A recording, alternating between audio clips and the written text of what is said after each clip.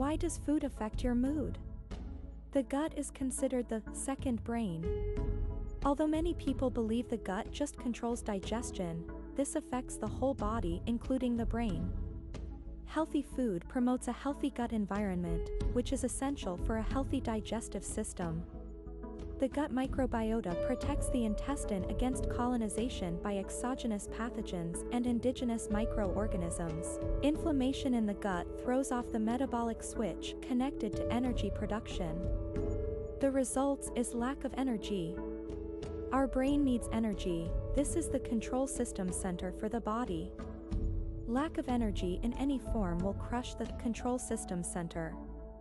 So, watch this video, salivate, give some awesome sauce, share your recipes in the comments below, and please subscribe.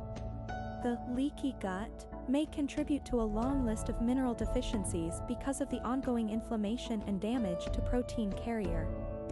The most common are iron deficiency, vitamin B12, magnesium which lead to fatigue, neuropathies, or muscle pain. Chronic fatigue syndrome plus chronic pain has a profound effect on the mood. It is not unusual patients with chronic pain have comorbidities compounded with symptoms of anxiety and depression. Aim for a diet rich in colorful, non-starchy vegetables that contain polyphenols, vitamin C and omega-3 fatty acids which are known to fight inflammation, stabilize insulin levels and nourish the brain, gut and body. Zinc deficiencies for example is associated with depression and anxiety. Zinc is found in animal products but for vegans to meet their zinc needs, eat beans, lentils, or chickpeas. Inflammation in the body is reduced also by foods high in magnesium, vitamins B12 and omega-3 fatty acids which causes reduction in cortisol levels to be decreased as well. Healthy foods overall promotes positive feelings, which improves the mood. Chronic disease risk can be reduced by eating healthy meals saturated with fresh organic produce.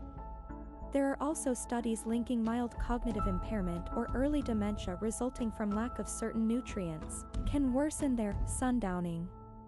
Supplements may also be recommended to improve nutrition intake plus prevent nutritional deficiencies.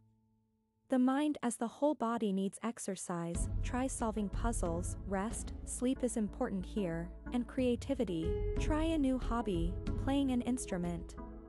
Create a meal plan that works for your lifestyle.